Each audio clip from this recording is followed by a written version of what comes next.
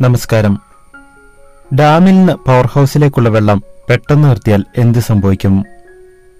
Power ഹൗസിലെ വൈദ്യുത ഉൽപാദനം നിലയ്ക്കും എന്നായിരിക്കും മിക്കവരുടെയും ഉത്തരം. എന്നാൽ അത് മാത്രമല്ല സംഭവിക്കുന്നത്. ഡാമിൽ നിന്ന് പെൻസ്റ്റോക്ക് പൈപ്പുകൾ വഴി സെക്കൻഡുകൾ തോറും ലക്ഷക്കണക്കിന് ലിറ്റർ വെള്ളമാണ് ഒഴുകുന്നത്. ഈ വെള്ളത്തിന്റെ ഒഴുക്കിനു കൂടിയാണ് പെട്ടെന്ന് തടസ്സമുണ്ടാവുന്നത്.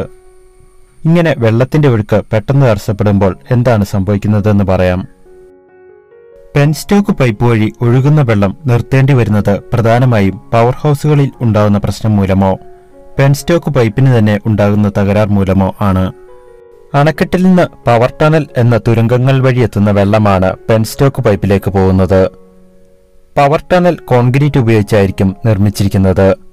പവർ ടണലിൽ നിന്ന് പെൻസ്റ്റോക്ക് പൈപ്പ് തുടങ്ങുന്നതിന് മുമ്പായിട്ടാണ് ഇതുവഴി ഒഴുകുന്ന വെള്ളത്തിന്റെ അളവ് നിയന്ത്രിക്കുന്നതിനും വേണ്ടി വന്നാൽ പൂർണമായി നിർത്തുന്നതിനുമുള്ള സംവിധാനമുള്ളത്. ഇവിടെ വെച്ച് വെള്ളത്തിന്റെ ഒഴുക്ക് തടയുമ്പോൾ ശക്തമായ മർദ്ദം ഉണ്ടാകും. ഇത് പവർ ടണലിനെ ദോഷകരമായി ബാധിക്കും. ഇങ്ങനെ സംഭവിക്കാതിരിക്കാനായി ഡാം നിർമ്മിക്കുമ്പോൾ സർജ് ഷാഫ്റ്റ് എന്ന സംവിധാനം കൂടി ഉണ്ടാക്കാറുണ്ട്. ജലവൈദ്യുത പദ്ധതികളിലെ ഏറ്റവും പ്രധാന ഘടകങ്ങളിലൊന്നാണ് സർജ് ഷാഫ്റ്റ് പവർ ടണലിനുള്ളിൽ നിന്ന് കുത്തനെ ഉയരത്തിൽ നിർമ്മിക്കുന്ന തുരങ്കങ്ങളെയാണ് സർജ് ഷാഫ്റ്റ് എന്ന് പറയുന്നത്. വെള്ളത്തിന്റെ ഒഴുക്ക് പെട്ടെന്ന് നിർത്തേണ്ടി വരുമ്പോൾ സർജ് ഷാഫ്റ്റിലൂടെ വെള്ളം മുകളിലേക്ക് പൊങ്ങുന്നു. അങ്ങനെ വെള്ളത്തിനുണ്ടാകുന്ന സമ്മർദ്ദം പവർ ടണലിനെ ബാധിക്കാത്ത രീതിയിൽ അവസാനിക്കുന്നു. സർജ് ഷാഫ്റ്റ് എന്ന ഈ ടണലുകളില്ലെങ്കിൽ ഡാമിൽ നിന്നുള്ള വെള്ളമൊഴുക്ക് തടയുമ്പോൾ പവർ ടണൽ ഇൻഡേക് ടവർ എന്നിവയ്ക്കെല്ലാം നാശം സംഭവിക്കാം.